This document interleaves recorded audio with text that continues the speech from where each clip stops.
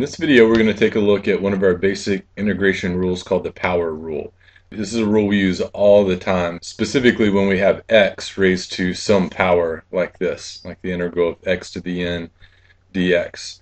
Now, to remember how to do this, let's actually remind ourselves what we do if we were going to differentiate. Uh, if we were going to take the derivative of x to the n, then this n would come down, and we'd have n x to the n minus 1. You decrease the exponent by 1. So we can make a pretty educated guess as to at least what the exponent will be when we integrate or take an antiderivative. It would be x to the n plus 1.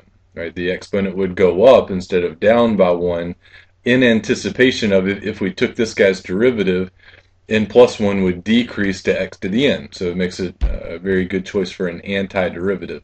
Now that's not exactly it because, you know, if we were to, to try a simple example like the integral of x squared, and we'd say this is x cubed, if we tried to, to check ourselves uh, as far as going, you know, taking the derivative of x cubed and seeing if it comes back to x squared, which would certainly be true with an ant if it was the correct antiderivative, you'd see you would get 3x squared, not just x squared. So how do we account for the extra factor of 3 that would be you know coming into play here? Well, it's very simple.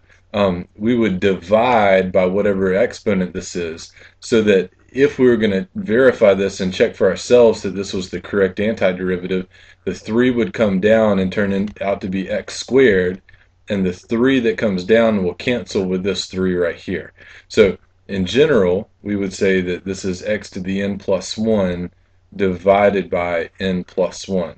And then we'd say plus c. Uh, now it should be mentioned that there's one particular n value where this concept wouldn't work. And whenever you have division, you have to watch out for having division by 0. So you'll notice that if n was negative 1, you'd have division by zero, and that, that would certainly give us some trouble. So this is called the power rule for integration, but specifically when n is not equal to negative 1. If n was negative 1, we have a different rule. Just as a little side note, it would be a logarithmic integral, but, but we're not really going to go there uh, in this particular video. So we have this little condition we have to watch out for. Okay, let's look at a few just real simple examples. We'll start with a really easy one, the integral of x to the fifth using this new power rule that we just discovered, it would be x to the sixth, the power would increase by 1 over 6 plus c. And sure enough, this is the correct antiderivative because if we took his derivative, the 6 would come down, cancel with the 1 sixth, and we get x to the fifth. So we know we know that it's correct. All right, here's one that has a constant multiple here.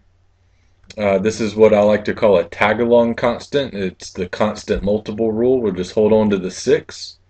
The integral of x squared would be x cubed over 3 using the rule we just discovered, plus c. And then when we're done, we should always try to clean it up best we can. And 6 over 3 would be 2x cubed plus c. Now, the more proficient that you get at, at using the power rule once you've done it for a week or two, most people will skip this step and you know anybody who's pretty proficient at calculus could integrate 6x squared immediately as 2x cubed but it just it just takes a little practice. All right the last one we have 9 times x to the 1 half. Um, technically this is still a power. It's a weird power it's a fraction but that that's no matter. Um, 9 would be a tag along constant. X to the 1 half plus 1 would make x to the 3 halves.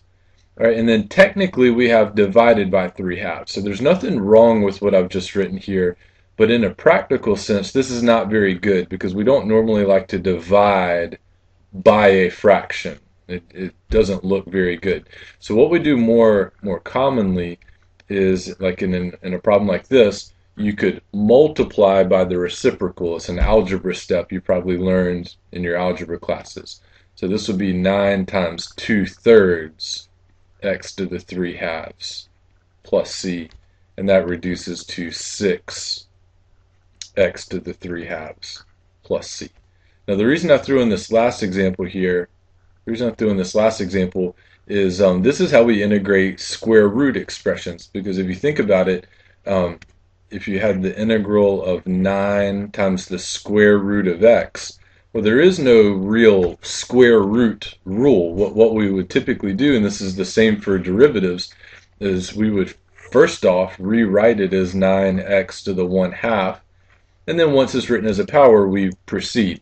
So I just went ahead and got us started one step later, you know, with this problem here. So this is great if you have like square roots or something like that.